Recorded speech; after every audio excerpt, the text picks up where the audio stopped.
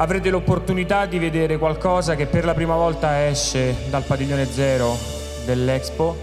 Per noi parla di una sfida, però è una sfida che abbiamo tutti, che è la sfida Fame Zero. Se ci sono delle buone pratiche, se si attraversano delle buone pratiche, la fame del mondo potrà essere sconfitta.